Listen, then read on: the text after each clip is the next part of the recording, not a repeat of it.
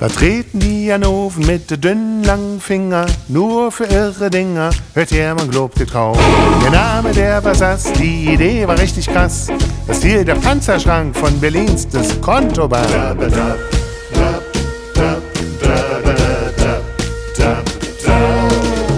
Sie schneiden durch den Stahl, es öffnet sich ein Saal.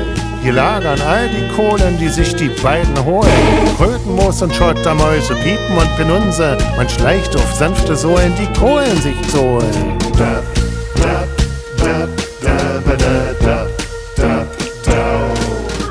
Er war von der Polente, seit Wochen nicht mehr pente. Sein Name, der war weiß, die Spur war richtig heiß. Es schlug schon nachts um vier, er saß noch im Revier. Da schellt das Telefon, jetzt startet die Aktion.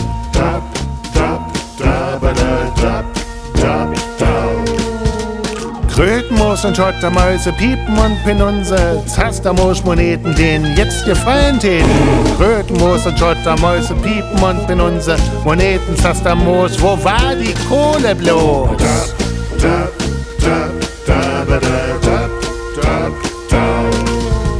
Doch hinter dem Tresor kickte ein kleiner Zettel vor. Er las mit Zitterhand, was da drauf geschrieben stand. Du kommst dir viel zu spät, das Ding ist längst gedreht. Sind über alle Berge schon und baden jetzt in der Million.